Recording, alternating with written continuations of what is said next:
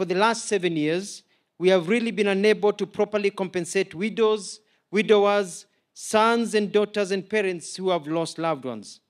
Today, my heart is warmer as we launch this modern digital scheme that will not only accelerate the compensation program, but also enable us to work with others to raise more funds to compensate the affected.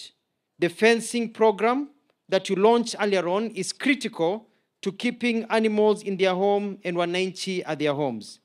This phase one has a budget of 300 million shillings and we'll be laying 350 kilometers of electric fence. We'll soon be embarking on phase two for another 350 kilometers.